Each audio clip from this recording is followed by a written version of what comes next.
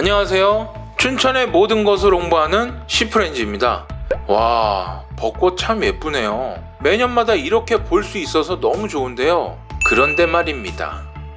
지구 온난화, 이상 기후로 인해 기온이 매년 올라가고 유난히 벚꽃 개화 시기도 매년 빨라지고 있네요. 한국 전쟁 이후 우리 산은 황폐해졌습니다. 그러다가 7, 80년대 대대적으로 나무를 많이 심어 지금은 우리나라 64%가 산림으로 이루어져 있는데 나무에도 유년기, 성장기, 장년기, 노령기가 있어 장년기 이후부터는 이산화탄소 흡수율이 줄어들기 때문에 오래된 나무는 목재로 활용하고 나무의 세대 교체가 필요하기 때문에 계속 나무를 심어야 하는 거죠. 전 세계적으로 기후 변화의 심각성에 대한 인식이 확산되는 가운데 숲과 나무가 기후 위기 대응을 위한 최적의 자연 친화적 해법으로 부각되고 있습니다.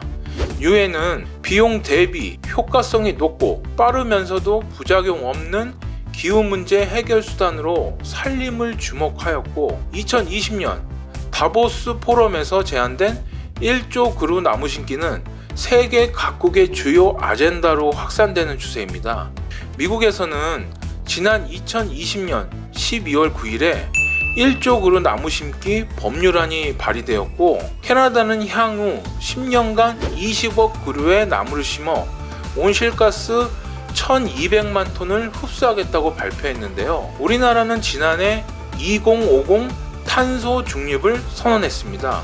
2018년 기준 국내 산림의 온실가스 흡수량은 4,560만 톤으로 국가 총 배출량의 6.3%를 상쇄하고 있습니다. 7, 80년도 심은 나무들의 노령화가 가속화되고 있어 현재 추세대로라면 2050년 흡수량이 현재보다 70% 감소한 1,400만 톤까지 떨어질 것으로 전망하고 있는데요. 그래서 정부에서는 30년간 30억 그루 나무 심기를 통해 3,400만 톤을 기여하는 것을 목표로 하고 있다고 합니다. 기후위기는 전 지구적이고 범국가적인 숙제입니다. 저희 춘천시도 도시 열섬과 미세먼지 등 환경 변화에 대응하기 위해 2050년까지 1억 그루 나무 심는 대규모 프로젝트 바로 봄내림인데요. 시민에게 쾌적하고 깨끗한 환경을 제공하고 숲속의 도시 춘천을 구현한다는 계획이라고 합니다. 더 자세한 설명은 춘천시 녹지공원과 도시숲팀과 인터뷰했습니다.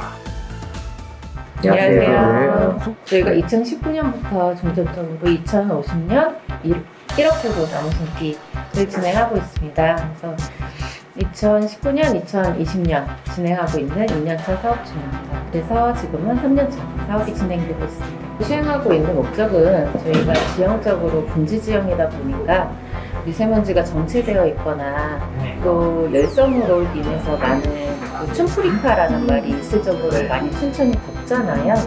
그 도시의 그 지표면이 콘크리트화가 많이 되다 보니까 도시의 흐름이 바람길이 정체가 되어 있는 상황이에요. 그래서 그 흐름의 유도라든가 미세먼지 저감 그런 부분에서 도시 열섬을 완화시키고 쾌적한 환경을 만드는 데 일조하기 위해서 저희가 열심히 1억 그루 넘치기를 하고 있습니다. 바람길을 만들어서 네.